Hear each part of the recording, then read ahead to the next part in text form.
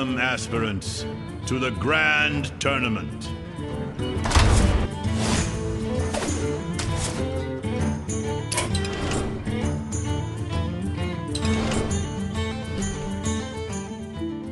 Prepare yourself for a day of the most impressive jousting, eye-popping sideshows, and the might